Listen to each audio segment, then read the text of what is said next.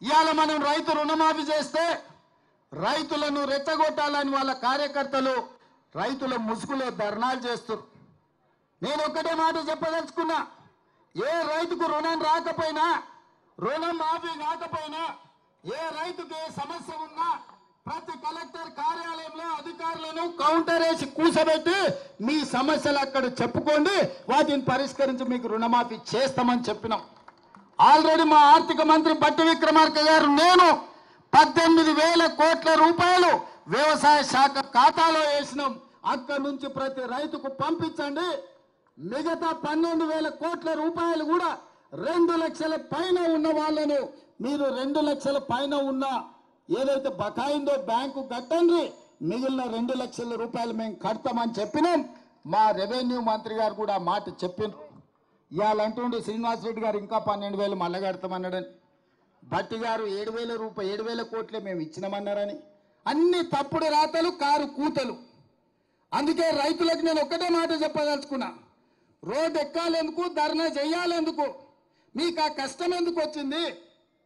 ఆరు నెలల లోపల ముప్పై ఒక్క వేల కోట్ల రూపాయలతోటి రెండు లక్షల వరకు రైతులకు రుణమాఫీ చేస్తామని పంద్రాగస్టు లోపల చేస్తామని మాట ఇచ్చిన మేము పద్దెనిమిది వేల కోట్ల రూపాయలు చెల్లించడం బ్యాంకులలో నగదు అందుబాటులో పెట్టినాం. మిగతావి కూడా మాఫీ చేస్తామన్నాం. ఈ సన్నాసులు నమ్ముకొని రోడ్ల మీద తిరిగితే ఆయాసమే వస్తుంది. మీకు ఏదైనా సమస్య ఉంటే కలెక్టర్లను కలవండి. వ్యవసాయ శాఖ అధికారులను కలవండి. ఈ ప్రభుత్వం ఉన్నదే మీకోసం. ఈ ప్రభుత్వం మీ సమస్యలను పరిష్కరించడానికి ఉన్నది. ఈ ప్రభుత్వం ప్రజాపాలనది. ప్రజలకు అందుబాటులో ఉన్నాం.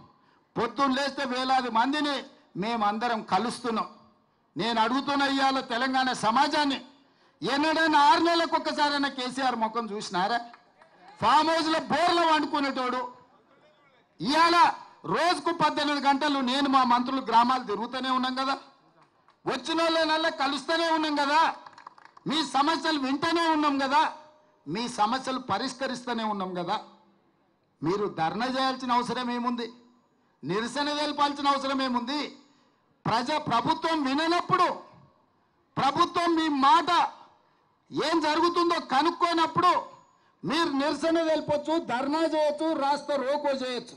కానీ ప్రభుత్వమే మీ దగ్గర ఉండి ప్రభుత్వం వింటున్నప్పుడు ప్రజాపాలన జరుగుతున్నప్పుడు ప్రజాభవన్లో ప్రజల సమస్యల్ని వారంలో రెండు రోజులు మా అధికారులు మా చిన్నారెడ్డి గారు తీసుకుంటున్నప్పుడు మీకెందుకు కష్టం? రైతులారా అని నేను చెప్తున్నా. అందుకే పదేళ్ళు మిమ్మల్ని దోసుకతిన్నారు కాకులాక గద్దలాక మీ రక్త మాంసాలను పీల్చి పిప్పి వేసిన ఈ సన్నాసులు మళ్ళీ ముసుగులో దొంగలు ముసుగేసుకొని ఇవాళ మళ్ళా మీ దగ్గరకు వచ్చి మభ్య పెట్టాలని చూస్తారు ఈ దోపిడీ దొంగలే కదా ఈ పదేళ్ళు మిమ్మల్ని దోసుకున్నది. ఈ కేసీఆర్ ఈ హరీష్ రావు ఈ రామారావే కదా మిమ్మల్ని కొల్లగొట్టింది. ఆ కొల్లగొట్టిన సన్నాసులను ఆరు నెలల కింద మీరే కదా బొందబెట్టింది మరి ఆ బొందబెట్టిన వాళ్ళను మళ్ళా గ్రామాలకు ఎట్లా రాణిస్తుండ్రు? మీరు ఒక్కసారి ఆలోచన చేయమని రైతులకు విజ్ఞప్తి చేస్తున్నా. మాయ చెయ్యాలని మిమ్మల్ని మోసం చెయ్యాలన్నదే వాళ్ళ ఆలోచన. పదేళ్ళల్లో వాళ్ళు ఇచ్చింది ఎంత? పది నెలల్లో మేము ఇచ్చింది ఎంత? అమరవీరుల స్థూపం దగ్గర చర్చ చేద్దాం రాణి. రాజీనామా చేయాల్సి వస్తుందని తాటి సెట్టు లెక్క పెరిగిండు కానీ ఆయన పారిపోయి వాళ్ళ కొత్త మాటలు చెప్తుండు. అందుకే సిద్దిపేటలో మా మైనంపల్లి పోయిండు. రా మాట్లాడదాం ఏందో చూద్దామని. అట అంకల్లో కూడా ఓలే ఇక నెక్స్ట్ మళ్ళీ జగన్న ఉన్నాడు జగ్గన్న వస్తాడు తొందరలోనే సిద్దిపేటకి. జగన్ దోల్తా వాళ్ళు ఏంటంటే అబద్ధాలన్నీ సోషల్ మీడియాలో పెడతారంట. గట్లనే నరేంద్ర మోడీ గారు వాట్సాప్ యూనివర్సిటీలో పెట్టిండు. నాలుగు వందలు అన్నాడు. నేను ఆయననే చెప్పిన రెండు వందల నలభై అని అవునా? ఒక్క సీట్ అని ఎక్కువ వచ్చిందా? సరిగ్గా గంతే వచ్చింది. రెండోసి చెప్పి చెప్పిన పార్లమెంట్ ఎన్నికల్లో వచ్చినప్పుడు నువ్వు శాతం అయితే మునగాను అయితే ఒక సీటు గెలువురా అబ్బా అని. అన్నానా? సేవలనే కదా నేను అన్నది. బీఆర్ఎస్కి ఒక్క సీటు కూడా పార్లమెంటు దక్కని అని.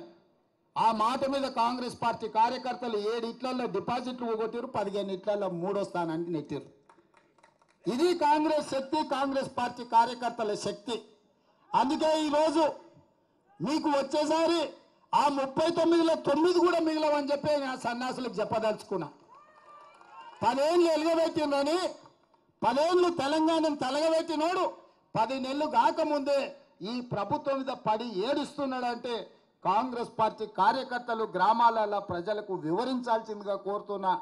ఏది ఏమైనా ఇప్పటి వరకు ఇన్ని గంటలు ఇక్కడ ఉండి ఖర్గే గారు రాహుల్ గాంధీ గారు పిలుపు మేరకు ఈడీ కార్యాలయం ముందు నిరసన ధర్నాలో పాల్గొని దేశంలో జరుగుతున్న ప్రధాని అదాని దోపిడీని అడ్డుకోవడానికి వచ్చినందుకు మిమ్మల్ని అందరినీ మనస్ఫూర్తిగా అభినందిస్తూ అక్కడ ప్రధాని అయినా బీజేపీ అయినా ఇక్కడ బీఆర్ఎస్ అయిన దోపిడీకి వ్యతిరేకంగా మనం కొట్లాడదాం.